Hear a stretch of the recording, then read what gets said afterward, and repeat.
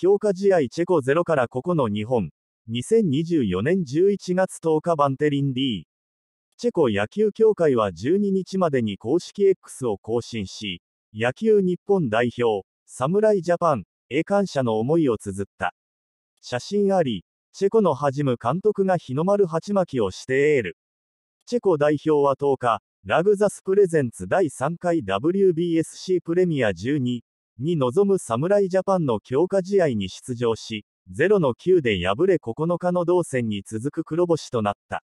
昨年の WBC で大谷、ドジャースから空振り三振を奪った電気技師のサトリアが先発し2回2失点。巨人に加入したフルプラに応援歌が歌われるなど、日本式応援でファンに後押しされた。チェコチームは試合後、スタンドのファンに拍手とお辞儀をして感謝の意を示した。同協会は、プレイしてくれてありがとう。日本、と日本語で投稿。続けて、ありがとう、侍ジャパン。この素晴らしい経験に心から感謝します。プレミア12の準備をお手伝いできたことは本当に光栄でした。